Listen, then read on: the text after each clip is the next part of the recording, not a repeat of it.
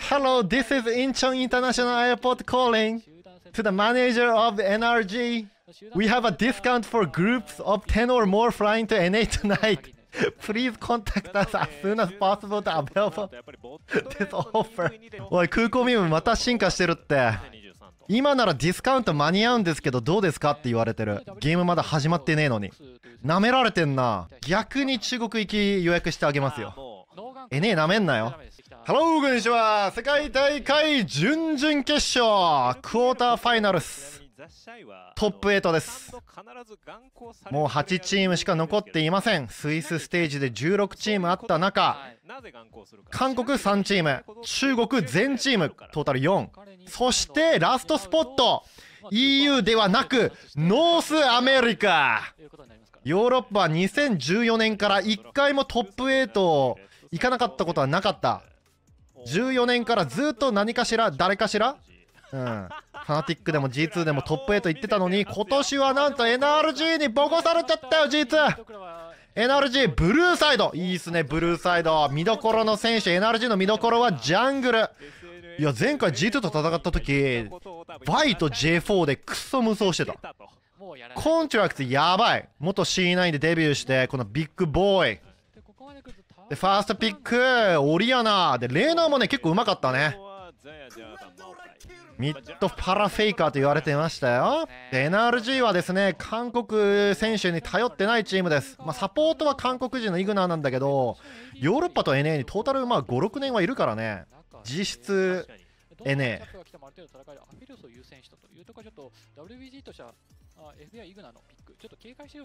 これは応援しがいがあるチームです。最初のピックで今大会 OP なオリアナ。オリアナを行くことによって ADC バトル有利になりますよ、レートゲーム。連戦もめちゃくちゃ強いオリアナ。ここ最近やっぱランブル強い。で、エンゲージメタだったから、レナータとかタムケンチとかね、強くなってきてるよね。あいつら勝率高いんですけど、中国相手は、ここ最近みんなレナータをバンしていく。そして NRG スペシャル来た。初戦で G2 をボコした。セナタムケンチ。ミッドはオリアナで連戦。耐えて、ボトムレーン、レートゲーム最強。いいね、セナタム強いですよ自分たちの得意のチャンプやるのいいね。でもこれニーコ空いてんのか？ニーコ詐欺キャラではあるんだよね。NRG はニーコよりもアジールを優先して版ですか。アジール版なんだね。シャオフーを警戒して。まあ、このマッチアップ、3つのマッチアップであれば、ニークの方が連の主導権取れますが、まあ、ウェイボーは突っ込んでくる構成だ。ウェイボー、コントラクツの J4 とバイをバン、警戒している。チャンピオンがいたらベストなのかなという感じがしますね。ただ、バイは自分たちで消しましたね。となると、例えばキャリーチャンピオンとしてジャングルウーコンを置くとか、そういった選択肢もありますね。ええ NRG めっちゃレートゲーム強い構成です今のところ、セナは高級的に射程とダメージが上がっていく。でファーム食わないからサポートもどんどん強くなるしね。タムケンチ硬くなるよ。オリアナもニーコよりも圧倒的にスケールがいい。ナーのバンとかはちょっとしておきたい印象ありますけど。ウェイボーはジャックスバイバンで NRG は突っ込んでこられたら困ると視界も消されるとタムケンチが食えなくなったりするから一旦ノクターンバンでウェイボは見どころの選手 ADC のライトがね敵のフラッシュエンゲージをほぼ反応して避けます。強引なエンゲージはライトにはあんま効きませんね。めっちゃ逃げる。めっちゃフラッシュ早い。そしてザ・シャイトップザ・シャイ。カサンテオープン。トップ先出しですか？上を。ソロレーン先出し。サポートジャングル。レールどっちもいけるからね。NRG は。この計算点に何を出す？カウンターというカウンターはいません。ああなるほど。というのはもしかしたら狙ってるかもしれませんまあ、一方で NRG としては欲しいですよね。NRG 何を取る？コントラクツ？エンゲージ毎回うまかったけどビエゴはあんまりエンゲージキャラではない。ウーコンの方が良さそうではありますがちょっと CC が強力なのでウーコンを集団戦で活躍するのは難しいとうん。いう判断のようですね。あとただちょっと。BA5 サブスクライブありがとうございますどうやら時間使ってそしてレネクトン？ようです。そしてレネクトンあエイトロックスではなく、ちょっと意外ですか？そうですね。でラストピックミリオあ、レルをジャングルに置いてのミリレルジャングルミリオ ADC ここでプロテクト ADC 構成？ウェイボ確かに、えー、と序盤のところ、レベル1、レベル2のところで、NRG 一気にビエゴレネクトンか。まあ敵突っ込んでくるからレネクトンはそういう構成相手強いよねでもレネクトン相手にじゃあ突っ込むのやめてミリオアフェリオスで射程勝ちするよってことか。まあ中途半端な構成ではありますよウェイボー。まタムケンチがいるからねオールエンゲージ構成は結構カウンターされるからここでちょっと変えたらしいけど。レネクトンビエゴどうなるかねちょっとフロントがね NRG。タムケンチはファーム食えるから勝てえか？NRG はそれを倒せる構成を作ったという。まあ NRG は序盤潰されないようにレネクトンで立ち回って超レートゲームセナでキャリーしようって考えてんのかな？セナオリアナで。アピルスの前、男性の陣形を考え OK 始まりました。BO5 です皆さん。ここ最近ずっと BO3 だったけどたまには BO1 で。トップ8から BO5 負けたら帰国です。敗者復活ありません。残念ながら。あクリスプが魔法のブーツ？おおなるほど。ちょっとブーツまあ構成はですねウェイボが最初の3ピックは超エンゲージをピックしたんだけどセナタムケンチオリアナだからちょっとエンゲージは厳しいってことでライトでゴリ押す作戦えプロテクト ADC みたいな感じになったねミリオタフェリオスで。アップムーブがそんなに頻繁に起こるわけではないので、ブーツ後回しでもいいとまあ。超レートはまあセナだろうけそどま。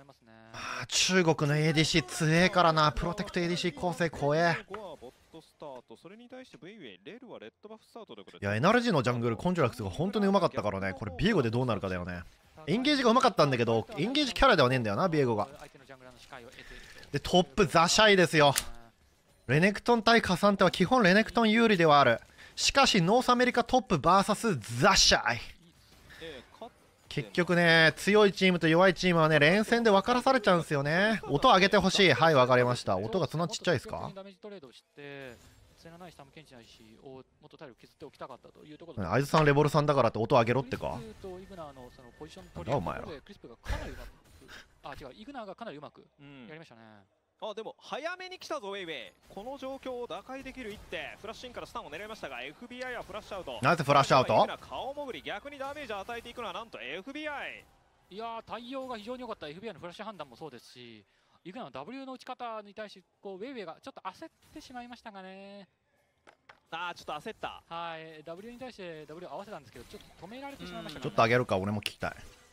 基本俺聞いてないけど。ただミッドレーンではまあ予想通りシャウフが主導権握りますまあ、レルは速いギャンクです。ビエゴはワンキャンプスキップ。ウォルフをスキップするんだね。でもザ・シャイ絶妙なところにワードを置いてる。前からだったら死なねえからって裏から来ることだけを警戒。しかしビエゴは壁際に E を放って W のスタンをキャンセルした。ザ・シャイ。おーコントラクト。でも He dead わあファーストブラッドゲットです。しかしやられた。駆け引きのところでコントラクトとしてはあ W のスタンええ。のどのタイミングで使うかという駆け引きをしたんですが、ダッシュへの対応が非常に素晴らしかったですね。ザ・シャイがさあれビエゴの W キャンセルしたんだけどキャンセルしたから W すぐ帰ってきたんだ。打てる打てるとは思わなかったわ。それによって、いやザ・シャイはねキャリーするかファッキンフィードするかの二択な感じはするよ。結構波激しいですよ。このウェーブでのリコールはまずいぞ。いやただ、一回殺したけどウェーブ的にはザ・シャイはこれバックさせたくない。あのいやバックさせたい。これフェームファーム壊したくない。キャノン！うんキャノン食いたいけど経験値は吸ったいいですね。そしてこれ、コンタクトとしても、ちょっとでもレネクは TP あるんでこのウェーブをええ押し付けて帰ってテレポートしたらめっちゃ有利通るからね。ザ・シャイは意地でもこれバックさせたくないね。でビエゴボトム行ったんでレルがどう立ち回るか。ザ・シャイはできるだけウェーブを固めてレネクトンがバックを渋るようであったらレレルを呼んでトップ殺しに来る。ビエゴボトムで見えちゃってるし。ここ欲張っちゃいけねえぞレネクトン。ウェイウェイがカバーに来てる来ることができるタイミングでもあったので、リスクが非常に高いということで、うん。コンタクトは。これねステイするんだよね。スタンダードな回り方。リスペクトしてねえやつは。でももう捨てます。い。いですね。今かなりゾーン。ノースアメリカいいよ。コントロールわきまえていけ。お前はゼウスじゃねえ。お前はノースアメリカトップやドクラ。ドラゴンはインファーナルドレイクボットレーンでもオビエボが少しずつですが有利を握っているように見えます、クリスプ、ミリオのスキル揃ってからはかなり安定してレーニングできてますね。えいやでもこいいね。甘えないのいいよ。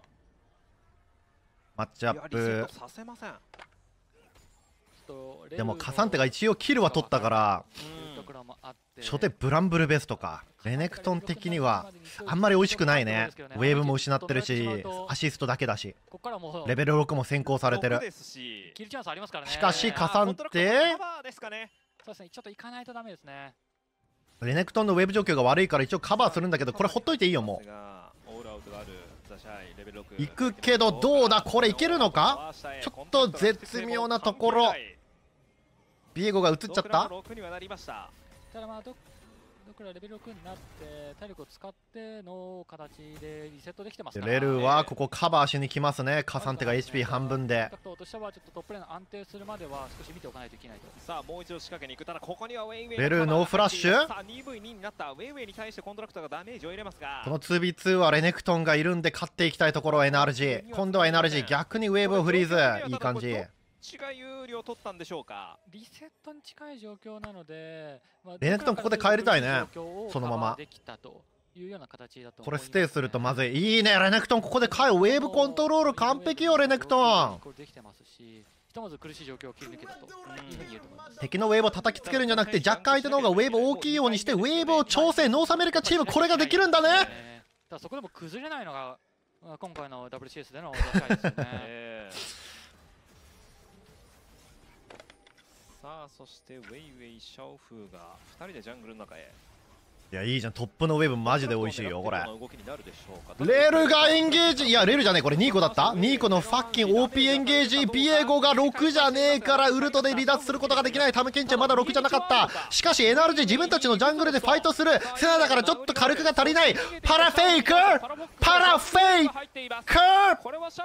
ナイスキル！11交換11トレードになりいやこれは NRG の方が美味しいよ。レッドバフのスティールウェーブはあ成功させましたが、ジャングルとミッドのトレード。ねおいノースアメリカチーム強えじゃん。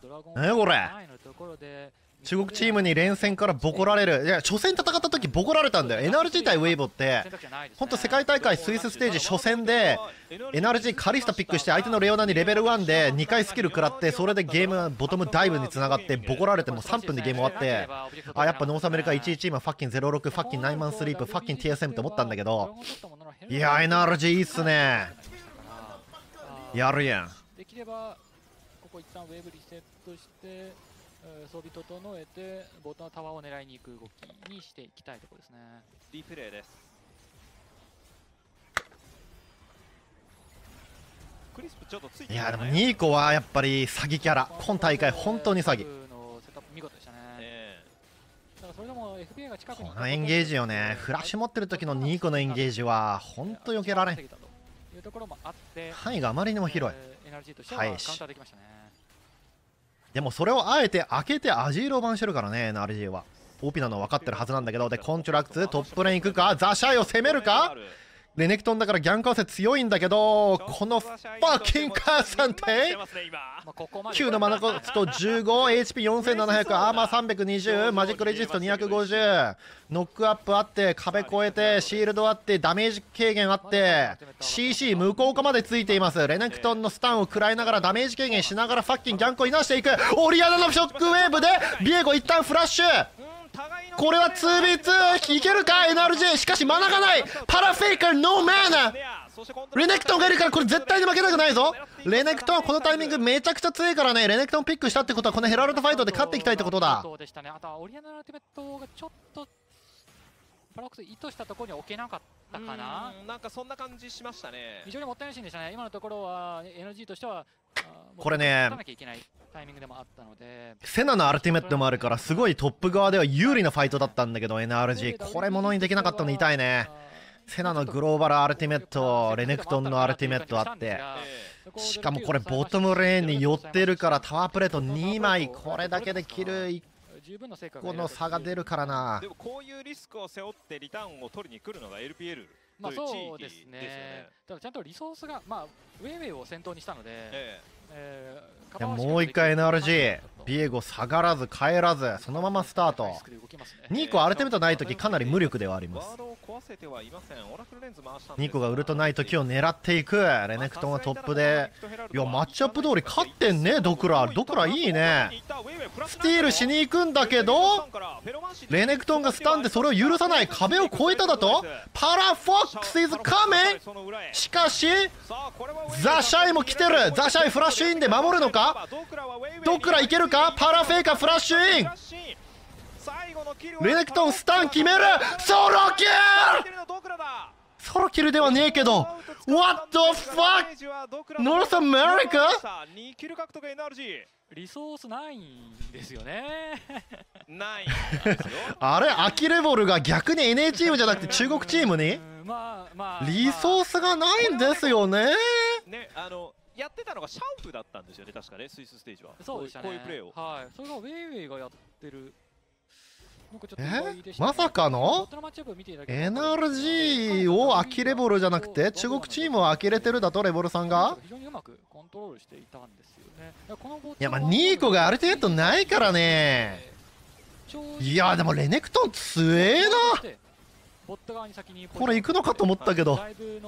えぐいわでもボトムこれ怖いのが相手アフェリオスキャリー構成です。でこのアフェリオスファームもしっかり食えてるしパワープレートも3枚。なんなら結構1人で食ってるからサポートとシェアしないんでめっちゃアイテム出てるよ。っていうところですか？もうなんかありそうかな、まあでも確かにあのライトはめちゃくちゃはい。順調なんですよ順調なんですよ。タワープレートを3枚取ってますだって。ははい。しかもこれソロで取ってますからね相当ゴールド持ってます。ストームレイザーバーサーカーしかもカルもコンプリートしてるしな。もう終わっています。一方でコントラクトもう24フォース完成してます。いやでもビエゴもねこいつめっちゃ強いんだよね。ロストチャップ育ってるのでけ？え素材も相当うまく積んでますからね。こうなってちょっとサンドイッチ食べます。NRG の方が、まあ、ゴールド勝ってはいますがただウィエボとしてはライトさえダメージを出せればいいという構成ですから。いやトップ強えな。本当に NA プレイヤーか僕らが勝ち始めていますか。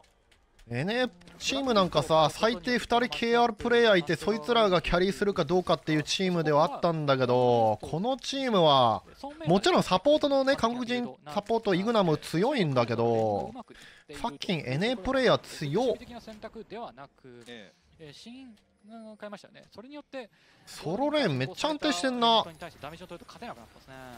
NA なんてマジでね9人韓国ヨーロッパ。で1人ポーベルターだったからね。NA プレイヤーって言われてなかった。ポーベルターって言われてた、まあ、ポーベルターが唯一の NA ミッドレーナーだったんだけど、まあ、韓国人系えアメリカンですけど。かなりうまくやってますね。えーミッドレーンにリフトヘラルド A 賞これでシャオフもナインインポートワンポーベルターって言われてた時期が長かったですね。二枚そしてそのままドラゴンタッチ。よ NRC タワープレートミッドにぶつけ。視界コントロールも取れててカッサンテノーテレポートですからレネクトンはトップで先にウェーブをえプロキシしていつでも寄れるようにしている完璧な立ち回り。非常に大きいですね。しかもレートゲーム超強い構成でドラゴン1個抑えることによって時間を稼ぐことができるセナの射程は高級的に上がりますよ。一生上がるからね。しかも敵のジャングルの居場所も察知する警戒できてるおっと抜かりねえなこれ優勝か去年の DRX 枠。ちょっと待ってアフェリオスいて。なんだあいつ。GA3 つ目で詰めお前。さすがにここは下がりましたがフリートフットワークのムーブメントアップでしょうか。そうですね。ただストームレーザーも合わせて追撃のところ非常にうまく。えー、やりました。あ確かにストームレイザーもそうですね、はい。スイフトネスブーツ持ってるんでちょっと油断しましたか FBI ちょっと距離感見すぎましたね。え。まあここからのそのサステインは非常にあるんですが、お。さあそしていやでもボトムレーン強いなフェリオスミリオ。タムケンチメレ相手強いけどレンジ相手はそこまでだからねやっぱ。まあでもうまく耐えてる方ではあるよ。シンプルに、えータワー破壊する方を優先しましたね素晴らしい判断ですね、ええさあこれで ADC のゴールド差1700ゴールド差あります。まあただそこはセナタム検知ですから差し引きのことまあ確かに。とを考えると決してまあ、セナはね CS 食わないタイプなんでサポートが食ってますからタムケンチ硬いです。でこれウェイボーいくらアフェリオスが強いとはいえ火力ない。どうしますか？ミッドレーンにトップタンクでしょ、まあ、タンクと呼べるか怪しいけど、まあ、ジャングルもタンク。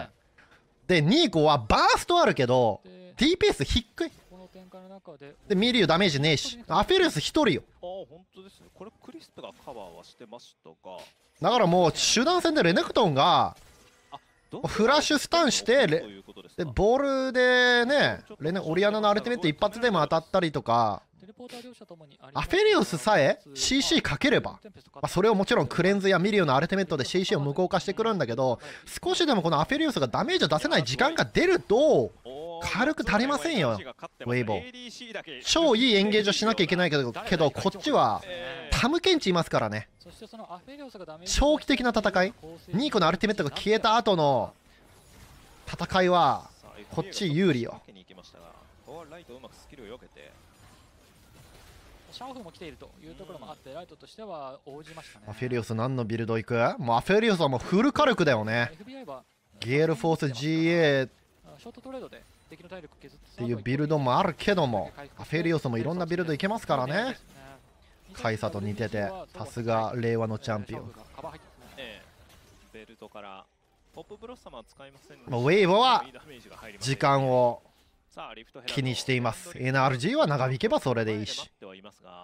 だからといって NRG も捨てるもんはあの守る守れるもんは守りに行くと。ミッドレーン押し込んで触りたかったそこに誘導したかったみたいなちょっとウィエボの動きに見えましたが。ただパラフォックスとドクラが非常にうまくコントロール取ってましたから。えうーんミッドレーンだけで先に動けないような状況になってますねここトップのところでシャオフーはオリアナとマッチアップしたことによってここで勝ちたいんですがえなるほど。ショックウェーブを打っている。いいねー。ニーコのフラッシュでかすぎ。こいつのフラッシュ取るのマジで大事。リコールして体力回復してでっけーいやーマジでレーナーが強いからね、まあ、コントラクトうまく回ってるけどレーナーソロレーナーがうまくやらないとこうやってジャングルのタイミング生まれませんからね。パラフェイカー中国のミッドレーンのレジェンドのシャオフ相手めっちゃうまく立ち回ってる。これ2個ウルトねえよあウルトはあるけどフラッシュねえよ。おっとスマイトミス。あー11スマイトミスウェイベイさん。お互い取った NRG 取って離脱ミッドタワー守りてレネクトンウェーブクリアいいですね。このタワー守りたいこのミッドタワー守りたい。しかしポジション的にはミッド守れないか。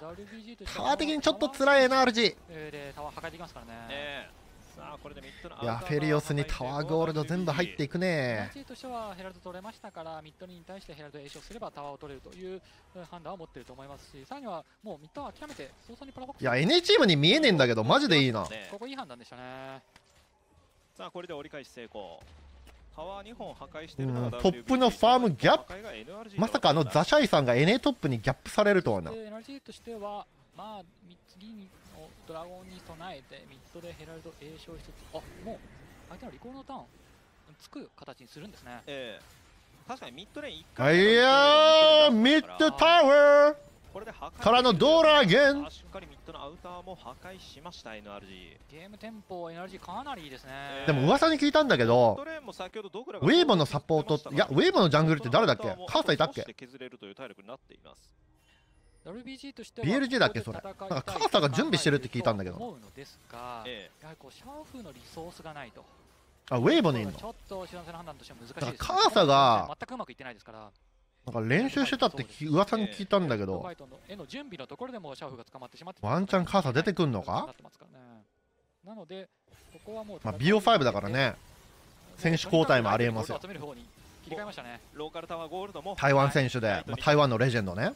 こここ数年は中国でやっててあのナイトともミッドジャングルデュオやってた。ここ最近調子悪かったみたいでジャングル変えてから結構うまくいったらしいんだけど、まあ、ウェイウェイちょっと空気ではあるんだよな正直今大会。しかも赤白なのでめちゃくちゃ CG は速い。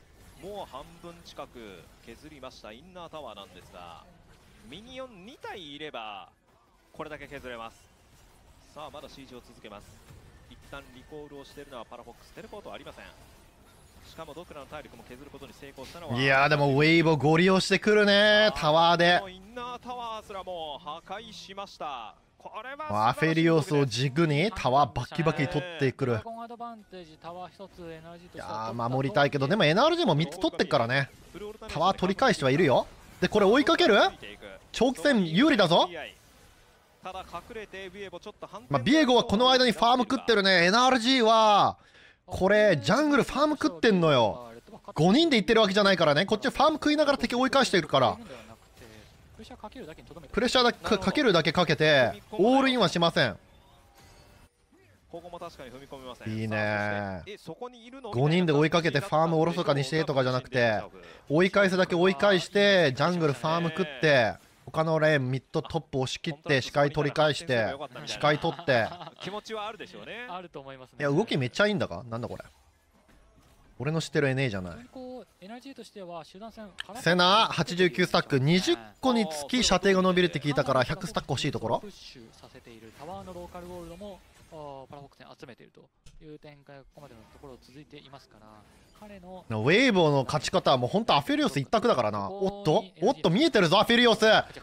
イ。エービッグフラッシュタムケンチ無理しねえのいいね。タムケンチが捕まったらやばいよ。タムケンチは守る係だからな。ボディーガード死んじゃいけねええ今のところカウンターででアフェリオスお前なんでその big fucking sword を infinity fucking sword にしたんだよ W をレルに当てていて。フル火力。ゲールフォースでもねックウェーブ当たってればこれもうシャドウフレイムルーデンテンペストですから。まあ倒されていた可能性は非常に高いですね。スーパーダメージアイテム。けど逃げられないよね？アフェリオスアルティメットグラビタムで束縛。ちょっと甘えたところ捕まえてきた。しかもこれジャングルやられたらやばいぞコントラクト。お前だけは生きろ。カサンテ blasting thank you oh my god ザシャイ!パラフォックスシャットダウンザシャイうーん2キル獲得 WBG いやーアフェリオスがちょっと浮いてたからタムケンチが W で入っていったところフラッシュなかったからねタムケンチいやビエゴ no flash no ultimate これ盗むの厳しいぞ残り7戦というゴールド勝ってたけどこれは盗めるかチームファイトで勝つことはできないダメージは足りなすぎるさすがにビエゴがどう入っていくかだ時間を稼ぐけど味方は10秒あと10秒レネクトンめっちゃめっちゃ耐えていや耐えた Wait, what？レネクトンクソタンクして超射程の長いセナが回復しながらダメージ与えて追い返して逆にバロン行くのか NRG これ敵にバックをさせねえぞ。逆にバロンタッチだ NRG いやドクラ素晴らしい。いやドクラ強レネクトン強こんな強いジャンプ。お前らその HP で来るんか？レル HP 少ねえぞ。パラフェイカーアルティメットあります。このボールがこのボールファッキューファッキンドクラがフーオッケー nice nice pressure NRG です彼らもさすがに焦りましたね、えー今アザエルはどんなことを言っているのかめちゃくちゃ気になります。今回キャスターデスクではないですからアナリストデスクですからねアザエル。やっぱり勝ったよっていうかもしれませんけどね。あなるほど。ワードでリコールが見えていただからセナトレネクトンが見えてないだからファイトに参加できない状況だけど仕掛けたというところだったんですね。いやーこれ3人であれ耐えるんだね。一瞬の俺ウェーブ普通にやると思ったんだけどやらなかったね。5000HP から反転を狙おうか。でもねこれ反転のツールがないんだよな。FBI がミリオだから。中途半端なんだよだウェーボ守るのか突っ込むのかどっちなんだいっていう。ブラストコーンがあったのでエグナーとしてはうーんっていう感じだったんでしょうか。その後のリカバリーが素晴らしかったですね。えドクラ FBI のところで時間を稼いでライトが赤の球回したんですけどレネクトに23発入んなかったんですよね。ーなるほど。それで若干ダメージが足りなかったと。ドクラは現在26歳。ちなみにファンからはビッグプレーが出た際にはあのビッグドークスという あだ名で呼ばれるそうですが今多分もう NA ではその一色奪ってるでしょうね。チーム救いましたからね、ええさあただバロンを取りました。それでも強気に WBG は押してきます。FBI はなんだっけ？オープンだぞ FBI だっけ？タッチしてるということで集団戦をしようと FBI が突入操作する時の掛け声というかグレネード投げる時のファイアインドホーみたいな感じで。ねめんどくさい。射程が長いのと、あとはかなりのダブルの精度がいいので、ええ。えースネアのエオイスネアという FBI オープンアップ。今もうすでに魂は100スタックあります。十分ですね十分。しかもこれパラフォックスも相当装備整ってますから。あオッケー。100スタック溜まったよセナ射程もケイトレンよりもはるかに長い。僕らが下側から。とレネクトン大丈夫か？ちょっと裏取りしてる？あんまり裏取りしたくねえけどなレネクトンで。この辺にいるのかというんドラゴンは取られた。しかし NRG これ中途半端にね危ない戦いしなくても OK だよ。バロン取ってここからどうタワーを取り返していくのかセナがスタックを貯めるのかことのようですね、えーまあ、もしくはバロンバフで CG したい。構成は NRG 圧倒的レートゲーム強いね。5の CG になっています。圧倒的です。もうな長引けば長引くほどもうアフェリウスがいくらミリオの射程アップのバフもらってもそれ以上の射程から殴るのがこのセナ。ドクラがボットプッシュしながらと、えー、NRG としては敵の5人全員見えてる状況。ダメージが薄いのにタムケンチまでもこれサポートじゃないからねタムケンチ。ほぼトップレーナーみたいなもんよクソ勝て。シールドもあるし HP2 倍みたいなもんや。いやー近づけない。これウェイボはニーコの神エンゲージを狙いたいんだけど。バロンバフあと5秒ですもうそうですね。ちょっとこれだとさすがに、えー、もう継続継続できないと。タムケンチがいるからね。ミッドのセカンドタワーのみですね。のみというのはちょっと物足りないですねかなりドラゴンのところで時間を使わされてしまいましたね。まあでもあれは WBG がうまかった。そうですね。さあコントラクトを見つけたシャウフここは危険と判断ハートブレイカー早めに使用しました。ビエゴのアルティメットってハートブレイカーなんだ。さあまずここまでの展開いかがですかレベルさん。NRG がかなりうまくやってビエゴ安定だよな。安全なんだよなあのチャンピオン。アルティメットで CC 無効があるから、まあ、カサンテはベーシックスキルにダメージ軽減プラス CC 無効ついてるんですけどね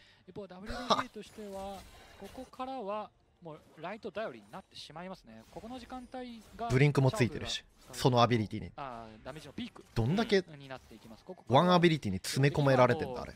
CC を当ててアフェリオスのための陣形作りということになりますからねただインフィインフィニティエッジはできてるんですがブラッドサースターがまだできていないと、ここ欲しいですね、えーちょっと継続せんと難しい、はい、さらにはこう睨み合いの前のところあファイトが起きる前の睨み合いのところで、え FBI とのダメージのトレードゴールドは有利取ってる NRG でこれまあワンチャン NRG が負けるとしたらまあ4ドラ取られることなんだけどポジション取れなくて。でもね最弱4ドラこれ取られても勝てます構成的に。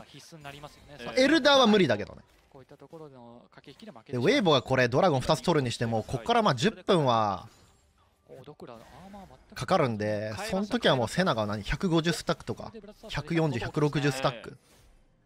もう画面外からもう殴ってくっからなセナが次のファイトかなり正直ウェイボはドラゴンは4ドラでは勝てないですね。逆に NRG が取ったらもうほぼ勝ち確じゃね？お金が間に合うかどうか。先ほどのバアフェリオス3つ目ファッキンチキン。あと1100はちょっと厳しい。厳しいですね、えー、1分で1100はかなり厳しそうフルダメージ。となると睨み合いの時間を長引かせるただ長引かせるためには FBI のオリアナラバドンズデスキャップあと少しこれが出ることによってシールドも大きくなるからね。AP が多くなるとシールドも多くなりますよ。オリアナタムケンチついてっからセナが万が一殴られてもでけえでけえシールドがある。いいねセナもすばしっこいしね対象負荷にもなることもできるし。そのミッドの角のところでよく戦いに来るというのも LPL はよくありますが。積極的に狙ってきますね。地形の力を生かして自分の体を隠しながら、うん、襲いかかるというところよくやりますよね。セナは次でラピッドファイアキャノンが出るはずだからとんでもねえ射程のハラスができるよ一発こうなるとウェイボもね入っていかなきゃいけなくなるよ。いやーしっかり2個警戒できている。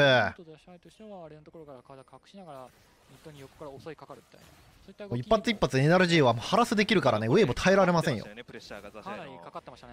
さらにはその上で、まあ、レッドバフのスティールも成功しましたね、セナあと1スタック100いや120出た。120スタックトータルまだ29分120スタックコントラクターがレベル14に対してウェイウェイレベル12バロン速度遅いんすよウェイボこれ。アフェリオスが殴ってないといけないからね。これもまたウェイボの。あしかもこれ2個見えてる。これ2個が見えてるのでけえ。2個見えてたら怖くね赤白というのも今見えましたかおっ。そ マジで遅え。点かバロンの体力は7600というところ裏ではザ・シャイとドクラの1対1が行われています。オッケー。オリアナの MS アップシールド。プラスタムケンチの保険がある。アフェリオスインファイトビルドだ。しかししっかりフラッシュで反応2個でエンゲージミスったぞ。これエンゲージもうない相手。ファックカサンテ What the fucking エンゲージ。しかしコテのシールドでドクラ耐える big ドークス。生き残ったオリアナパラフェイカーザシャイを捕まえた。ビエゴも狙われたけどビエゴ全力でアルティメットも使わず生き残っている。いやーオエイボね。ミリオアフェリオスでね。レートゲーム狙ったけどこっちの方が5人でレートゲーム強いからね。ウェイボ中途半端な構成です。エンゲージしたくても届きません。裏からパラフェイク。ウルトワネーがすんげえダメージ。タムケンチがビエゴをしっかり食べたタムケンチはやられた。さらには追撃ベイベイ。ただトライブッシュにオリアナウルトが帰ってくるのか帰ってこない。これが怖い。この射程何いって。2つのダメージがあまりにも重い。追い返したぞ WBG やる。そしてバロンに触りますはいやーアフェリオス触ってるだけで。上がるような状況ではあります。えー、互いにテレポートを打っておー。バロンの周辺クリスプの体力が一気に削れましたがザ・シャイの反転があります。さあありついているのは FBI に対して FBI これはもう逃れられないと判断。ただバロンをやっているのは WBG さあバロン獲得取られた取られた。しかしどうだファイトは？一旦レネクトンは逃げる。ウェイボゴリオスアフェリオスでいやライトいやーでもウェイボも取るか。ちょっとね NRG 追いかけるの長かった素ね晴らしいですね特にライト自分は絶対にダメージ食らってはいけないというのを分かった上での立ち回りそしてダメージの出し方。えあーほぼパーフェクトに近かったと思いますね。NRG セナがどこ行ってたん？駆け引きをしながらてかセナどこ行ったん？セナが死んじゃダメだろ。届くようなタイミングというのをずっと伺ってはいるんですセナが常に殴っていかないと一番後ろから。Where are you going? えなんでお前そこ立って左から殴れや！ファッキン ANA プレイヤーナイストライまあでも大丈夫大丈夫。といやマジでセナの立ち位置何これ？えマジでなんでそのポジションを取ったの？まず。意味がわからないんだけど逆転のあとはここからミッドのセカンドタワーも破壊してインヒビタータワーの獲得というところを狙っていきたいですね。うワールズが始まるまでレボルさんこの FBI オーストラリア。ンライトがあまり安定しないんだという苦言まあを NA と融合したからか。この試合はかなりパフォーマンスいいですね、えあとはまあ、えー集団戦の陣形まあでもそれでもセナラピファ出ました。一発でかいです。ねえーサンドラは取られちゃった。バロンは取られた。それそれでも NRG ゴールド勝ってるありますね。構成は圧倒的 NRG です。立ち位置。戦い方それだけ見せられなければ NRG の方が圧倒的有利よ。クレンズも持ってるし。はい。本当に怖いもうニーコもダメージなんかねえんだからウルト以外。さえ見ていればいい。さあテレポートを使っていやでもアフェリオスでゴリオスね。プッシュですドクラたまらずリコール。無理せずにセナが殴ればよろしい。かなり強気にタワーシージをしています WBG いやー。たこれちょっとレネクトンと割り当てがうまくいかなかったですね、えー。いやタワー取るのうまいなウェイボー。バロンで。行ったり来たりして一瞬離れたらアフェリオスが行って。さあこれでミッドそしてボットのインキビタータワー。いや5対5したいけど5対5させないカサンテがカサンテがすばしっこい。どっちも守ろうとしてどっちも守れないパターンかこれ。そしてボットレーンへ1個捨てるのは良かったけど2つ捨てるのか？NRG お前たちのタイミングではないのかこれ。オリアナのアルティメットがないうちにプレッシャーかけたいですねさあそのない時間。CG ミニオンキャノンミニオンは2台残ってはいますがそれでも FBI のレンジがかなり長い。今139スタックあります。ケクレンズ使わせたアフェリオスに。WBG ちょっと待って。なんでこんなに勝てない？NRG 強くない？回復して戻ってこれます。ドラ、えー、バロンバフが終わりましたダメージがねえのか NRG も。いや NRG はダメージはあるんだけどね。いけませんでした。WBG ここで下がります。FBI が本当にいい仕事しましたね、えー、ちょっとライトちょっとオリアナも一緒に殴ってくんねえと困るね。出ていたんです。よやっぱちょっと今のところ一番怖いオリアナのリソースがないタイミングだったのでえーバロンパワーを使ってえーネクサスの破壊のところまで持っていきたかったのは間違いないね、てかもうカサンテがほぼフルアーマーだからカサンテ殴ってもダメだなこれ。セナが。でさらにはデスキャップもできてはいます。さあゴールドいやーこの3000ゴールドからのこの逆転劇。セナレベル低いね。13レベルタムケンの方が高いの。ところが世に正確でしたね。勝ってる時間何分しかないんですかこれ？グローバルゴールド。足して5分もないんじゃないですか。すごいなここからまあ WBG としては継続して、えー、まあウィスクファイトセナ早くラストウィスパー欲しいんだけど。いうところだと思います。いつからセナってファーム食えるんだ？食っちゃいけないのか？発生させていますからトップ側を押し付けていってバロンマリンのところの視界をも抑えて、うん。えーインフィダタは取れなくてもバロンマリンの相手にしっかり取らせないようにそしてそのままスニックバロンなどにつなげていくような動きですね。さあトップレーン CG それに対してここでドクラがウェーブクリアして押し込んだ後の動きでおただ FBI のダメージがかなり出てるぞ。いやこれパラフォックスのダメージでしょうか。かなりダメージ出てましたね、えー、今ウェイウェイが一瞬ちょっとあまずいというような動きに見えましたが。まあ、ただ WBG としては一旦引けばいいだけですからね。まあ確かにインヒビター壊している有利というのは。これインビタ取られてんの気分悪いね。5対5したいのに。インビタはウェーブ守んなきゃいけねえからちょっとばらけちゃうな。現在154これバロンですかねやはり。バロン狙いになっていスタると思います、ね、ックはえぐいぞセナ。